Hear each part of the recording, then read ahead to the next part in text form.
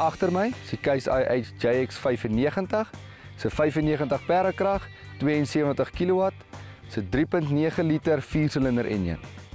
Gekoppel aan die enjin, se 12 by 12 transmissie, se 3 reeks 4-spoed radkas met 'n meganiese shuttle.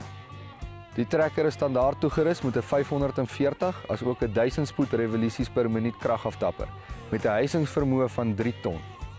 Die trekker is toegerus met twee druise pompe, een afsonderlik vir jou stuurmeganisme en jou radkas, die ander pomp het 'n lewering van 50 liter per minuut alleenlik vir jou hidroliese koppelings.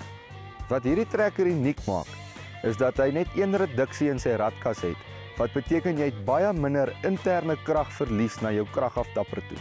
Die JX95 is ideaal vir hooiwerk as ook sleepwerk en vir die klein boer is dit 'n primêre werktuig.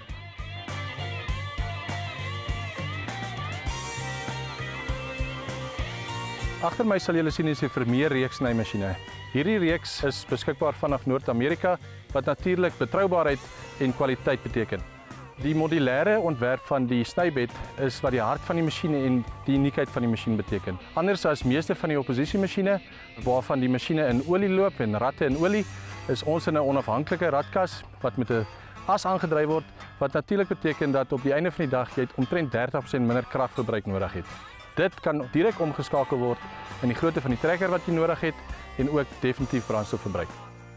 Die twee modelle wat ons hier agter ons sien is in beginsel die 3-punt model en die sleepmodel albei sonder kneusers. Jy kry hulle beide van 'n 5-tol tot 'n 8-tol of van 'n 205 meter tot 'n 3.2 meter snywyte.